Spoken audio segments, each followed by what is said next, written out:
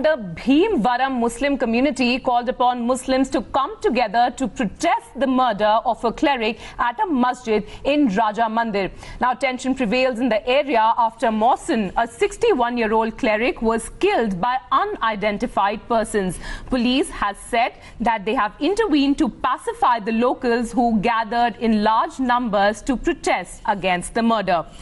Paul joining us on the phone line. Paul, fresh trouble for the city now. We are seeing those visuals uh, on our screen. The police has said that they had to intervene to actually pacify the family and the others who are protesting against the murder.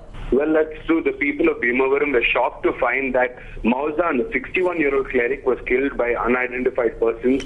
In fact, a mild tension prevailed. Locals gathered. In fact, immediately on WhatsApp and other social media platforms, messages were being sent out for people to gather together to protest against this brutal killing of the of the cleric at this particular uh, masjid uh, uh, present in Bhimavaram area of Rajahmundry in Andhra Pradesh. In fact, almost immediately police rushed to the spot.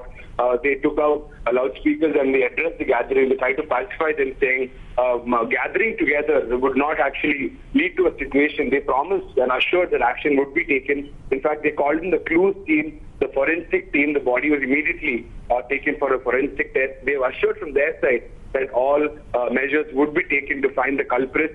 As of now, uh, though the people are very disappointed, uh, they have assured that action will be taken and the culprits will be identified. All right. Thank you, Paul Luman, for joining us and bringing us those details.